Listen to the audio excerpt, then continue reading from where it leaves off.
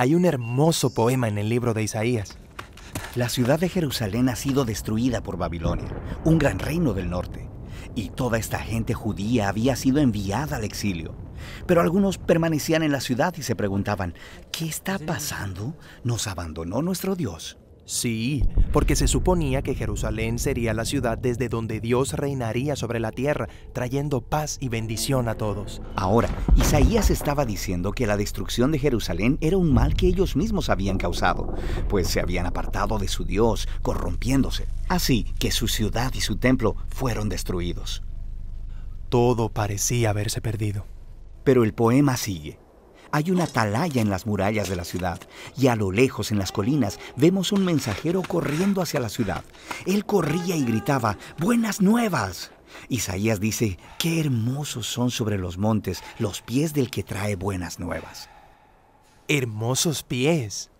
Sí, son hermosos, porque traen un hermoso mensaje. ¿Cuál es el mensaje? Que a pesar de la destrucción de Jerusalén, el Dios de Israel sigue siendo rey Dios mismo va a regresar.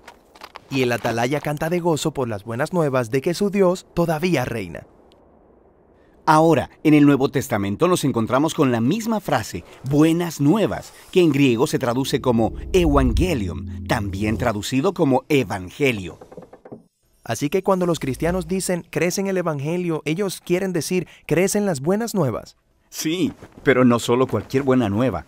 En la Biblia la frase siempre es el anuncio del reino de un nuevo rey.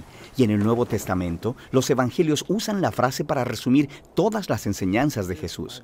Ellos dicen que Él iba proclamando las buenas nuevas del reino de Dios.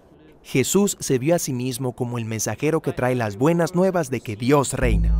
Sí, pero la manera que Él describió el reino de Dios sorprendió a todos. O sea, piensa, un reino poderoso y exitoso necesita ser fuerte, que pueda imponer su voluntad y derrotar a sus enemigos.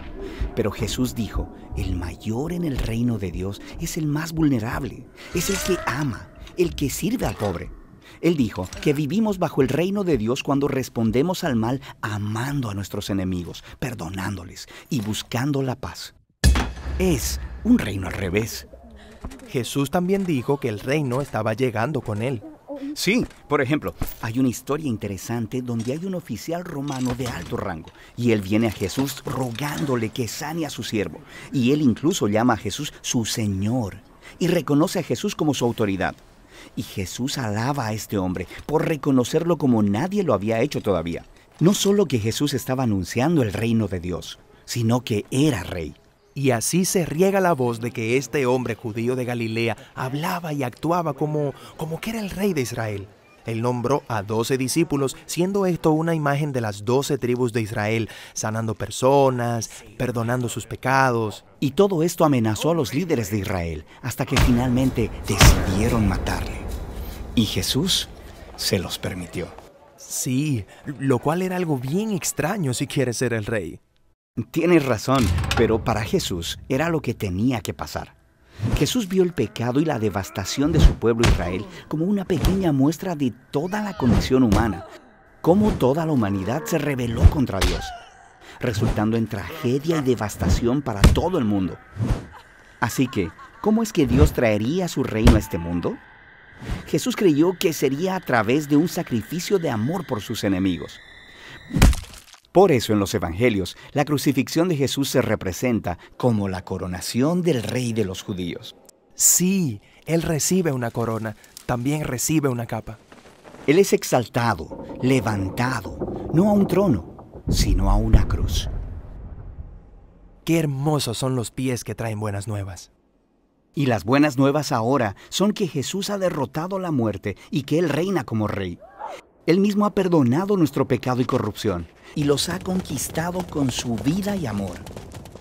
Y Él envió a sus seguidores a seguir anunciando las buenas nuevas de este reino al revés. Invitando a todos a que muestren su lealtad a Él, el Rey que derrotó la muerte con su amor.